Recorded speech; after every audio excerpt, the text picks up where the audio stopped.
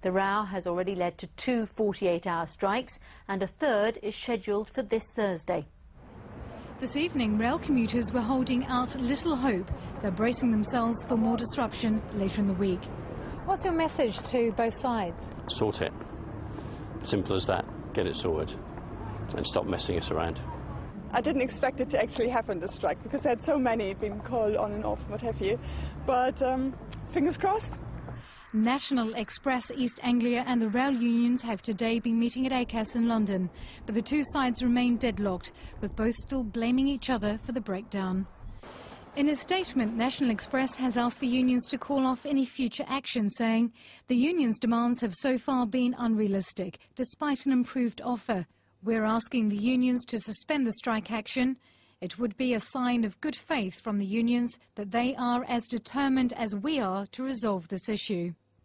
But the RMT union has hit back, saying the total failure of National Express to understand the seriousness of the current dispute has left us miles apart. All this following news that the TSSA union, which represents rail bookings and office staff, is now also planning to join forces with the RMT and ASLEF. National Express has refused to speak to us on camera, but the company says that if the talks this week are unsuccessful, it will operate a skeleton service this Thursday and Friday, similar to the one it ran during the strike last week. Maria Veronese, BBC Look East, at the Norwich train station. Postal services across the region were hit again today with a walkout by 700 Royal Mail staff. After the stoppages in Peterborough last week, today it was the turn of Norfolk and Suffolk. The action will last 24 hours and involve members of the Communication Workers Union in a protest over pay and conditions. Not a lot of mail was being delivered in Bury St Edmunds this morning. Around 130 postal workers walked out at 4am in an ongoing dispute about cuts to pay and services.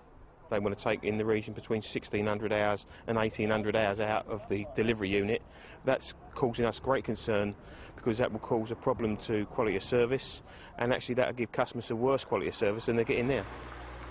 To keep disruption to a minimum, staff here went back to work from 9 o'clock till 3.30. They'll walk out again this evening.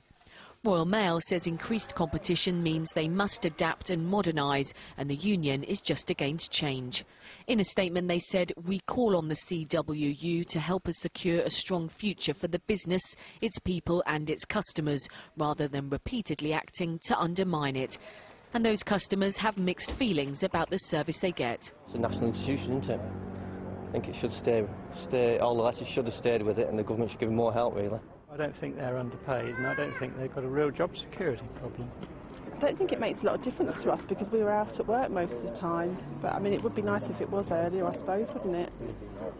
As well as Bury St Edmunds, walkouts also took place in Stanton and Ipswich in Suffolk and Kings Lynn and Thetford in Norfolk. It's not so much what's got to be done, it's the way it's being done. No input from the colleagues in here, um, and we're losing out financially. There's ways of doing things where you can share the money out and, and, uh, and do it like that. I don't see why we should have to lose out £100 a week, some people. If the issues aren't resolved, the union will ballot workers again and a national strike could take place later in the year. Louise Holmes, BBC Look East. Well, later in Look East,